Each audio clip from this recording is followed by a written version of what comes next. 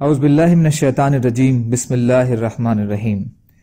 رب اشرح لی صدری ویسر لی امری واحلل عقدۃ من لسانی یفقهوا قولی۔ ریاض الصالحین حصہ اول، احادیث نبوی صلی اللہ علیہ وسلم۔ جب واپس آئیں اور اپنے شہر کو دیکھیں تو کیا پڑھیں؟ اپنے گھر والوں میں دن کے وقت آنا مستحب اور بنا ضرورت کے رات کو آنا مکرو ہے۔ حضرت جابر رضی اللہ تعالیٰ عنہ سے روایت ہے کہ رسول اللہ صلی اللہ علیہ وسلم نے فرمایا جب تم میں سے کسی کو غیر حاضری یعنی اپنے گھر سے لمبی ہو جائے، تو سفر سے اپنے گھر والوں کے پاس رات کو نہ آئیں۔ ایک اور روایت میں ہے کہ رسول اللہ صلی اللہ علیہ وسلم نے اس بات سے منع فرمایا کہ شخص اپنے گھر والوں کے پاس رات کو آئے۔ بخاری اور مسلم۔ حضرت انس رضی اللہ تعالیٰ عنہ سے روایت ہے کہ رسول اللہ صلی اللہ علیہ وسلم رات کو سفر سے اپنے گھر والوں کے پاس نہیں آتے تھے اور آپ ان کے پاس صبح یا شام کے وقت تشریف لاتے۔ بخاری اور مسلم۔ فائدہ۔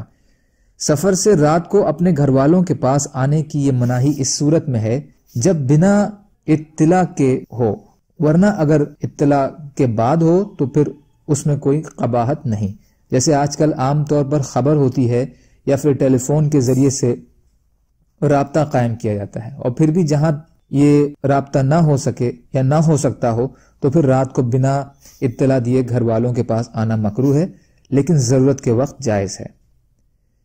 جب واپس آئیں اور اپنے شہر کو دیکھیں تو کیا پڑھیں؟ اس میں ایک حضرت ابن عمر رضی اللہ تعالیٰ عنہ کی وہ حدیث ہے جو پہلے تکبیر المسافر اعزاز سعد سنایا میں گزری ہے۔ حضرت انس رضی اللہ تعالیٰ عنہ سے روایت ہے کہ ہم سفر سے نبی اکرم صلی اللہ علیہ وسلم کے ساتھ واپس آئے۔ یہاں تک کہ جب ہم مدینہ کے قریب پہنچے تو آپ صلی اللہ علیہ وسلم نے فرمایا، آئبونا تائبونا آبدونا لربنا حامدون۔ تو آپ صلی اللہ علیہ وسلم برابر یہ کہتے رہے، یہاں تک کہ ہم مدینہ پہنچ گئے، مسلم شریف۔ فائدہ، کسی بھی قسم کے سفر سے جب انسان واپس آئے تو وہ اپنا شہر، اسے نظر آنے لگے تو یہ کلمات پڑھنا شروع کر دے اور اپنے شہر میں داخل ہونے تک پڑھتا رہے۔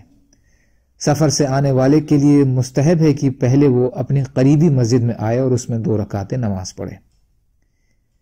حضرت کاب بن مالک رضی اللہ تعالی عنہ سے روایت ہے کہ رسول اللہ صلی اللہ علیہ وسلم جب سفر سے تشریف لاتے تو پہلے مسجد میں جاتے اور اس میں دو رکعت نماز ادا فرماتے، بخاری اور مسلم۔ فائدہ، یہ دو رکعت نفل بطور شکرانہ ہے کہ ٹھیک ٹھاک انسان اپنے گھر واپس آ گیا ہے۔ ایسے موقع پر انسان بڑا خوش ہوتا ہے اور مومن کی شان یہی ہے کہ خوشی اور مسرت کے موقع پر اللہ کا شکر اور اس کی تسبیح اور تکبیر بیان کریں اللہ تعالیٰ کہنے سننے سے زیادہ عمل کی توفیق عطا فرمائے اور مظلوم کشمیریوں، فلسطینیوں اور دیگر ممالک میں جہاں بھی مسلمان بھائی، بہن پریشان حال ہیں، یا اللہ آپ ان کی مدد فرمائیے اور ہم کو بھی اپنی استداد کے بقدر اپنا حق ادا کرنے والا بنائیے۔ آمین۔ سبحان اللہ و بحمدہ سبحان کا اللہ بحمد کا اشہد اللہ الہ الا انت، استغفرک و اتوب الیک۔ سبحان ربک رب العزتی اما صفون وسلام علی المرسلین والحمد للہ رب العالمین برحمتی یا ارحم الراحمین. لا الہ الا اللہ محمد رسول اللہ.